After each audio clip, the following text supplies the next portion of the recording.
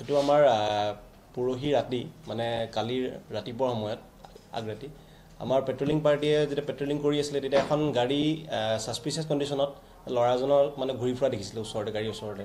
তেতিয়া গাড়ীৰ ওচৰলৈ গৈ যেতিয়া সোধ- সোধপোছ কৰিলে দেখিলে তাতে এগৰাকী আঠ বছৰীয়া সৰু ছোৱালী এজনী আছে। অলপ আৰু ল'ৰাজন কম্প্ৰমাইজিং পজিশ্যনত আছে। আমি লগালগ আহ, তেওঁলোকৰ আমাৰ পেট্ৰলিং টিমে তেওঁলোকক থানালৈ লৈ আনিলে।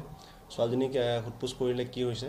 আৰু গম পোৱা গ'ল যে ছোৱালীজনীক আহ, নিজৰাৰ পৰা বিৰুবাৰীৰ পৰা ৰাতি তেওঁলোকৰ গাৰ্জেনে গম নোপোৱা অৱস্থাত উঠাই লৈ আনিছিলে আৰু তেওঁ ৰেপ কৰিবলৈ এটেম্প কৰিছিলে আৰু ইন দ্য মিন টাইম আমাৰ টিমে উদ্ধাৰ কৰিলে। আৰু ল'ৰাজনক আমি অলৰেডি জেললৈ প্ৰেৰণ কৰিছোঁ কালি। ইয়াতে তেওঁক পক্স' ছেকশ্যন লগা হৈছে আৰু three seventy six A B section লাগিছে ছোৱালীজনীৰ যাৰ ঘৰত আছিলেগৈ তাইৰ মাহীয়েকৰ ঘৰত আছিলেগৈ। তেওঁৰ মাহীয়েকৰ চিনাকি তেওঁলোকৰ একেখন গাঁৱৰে হয় বুলি একিউজনে হেৰি কনফেছ কৰিছে। কিন্তু ইমান বেছি যোৱা অহা যোৱা নাছিলে আমাৰ আমি যিমান দূৰ ভাবিছোঁ তেওঁ অসৎ কাৰ্য কৰিবলৈকে এইটো চেষ্টা কৰিছিলে হয় হয়। এইটো মানে তেওঁলোকে যিটো যেতিয়া কৰিছে এইটো লেট নাইট কৰিছে। এৰাউণ্ড ডেৰটা দুটামান বজাত। আমি পাইছোঁ থ্ৰী থ্ৰী মানত। সেই টাইমত মানুহ বহুত ডিপ শ্লিপত থাকে। আৰু এইটো আমি ইনভেষ্টিগেশ্যন কৰি আছোঁ তেওঁলোকে। আৰু এতিয়া গৰম হৈ আছে তেওঁলোকে বহুত টাইমত এনেকুৱা হয় খিৰিকি চিৰিকি খুলি হোৱা হয়। এনেকুৱা টাইমত বাগলেৰিও কিছুমান ক্ষেত্ৰত হৈ যায় এনেকুৱা। গতিকে তেওঁ চান্সটো পাইছিলে যে তেওঁ গম নোপোৱাকৈ ৰাতি উঠাই লৈ আনিছিলে। আমাৰ ইয়াততো এনেকৈ আমি পোৱা নাই। আমি যিখিনি পাইছোঁ ইলপমেণ্ট পাইছোঁ।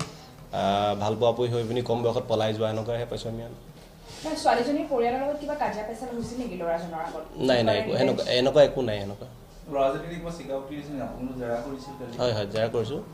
তেওঁতো ডিনাই কৰি আছে কিন্তু আমিতো গোটেইখিনি আমি যেতিয়া মেডিকেল ৰেকৰ্ড চাইছোঁ আৰু ডক্টৰেও আমাৰ অপাইন কৰিছে যে তেওঁৰ প্ৰাইভেট পাৰ্টছত মানে চিন আছে যোনটো এটেম্প টু ৰেপ হয়।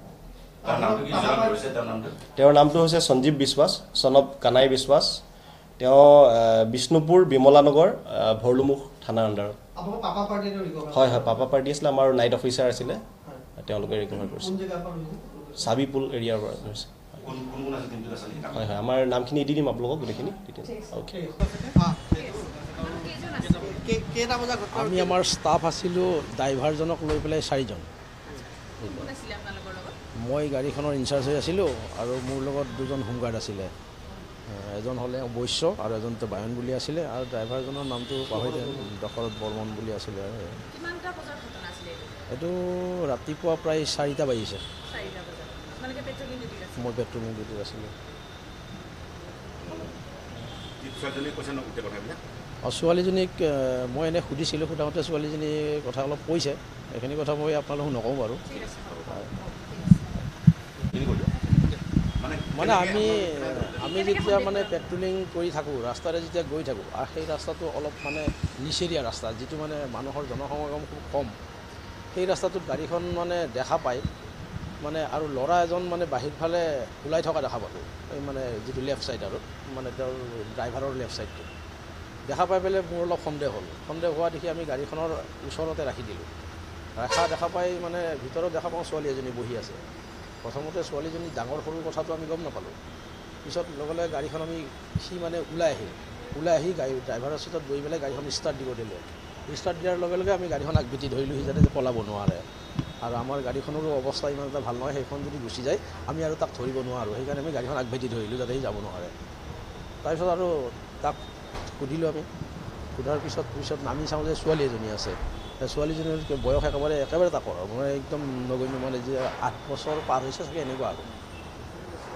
তাৰপিছত বাকী ছোৱালীজনীৰ মুখৰ পৰা গোটেইখিনি শুনিলোঁ আমি। শুনাৰ পিছত আমি দুইজনকে পিক আপ কৰিলোঁ আহিলোঁ আৰু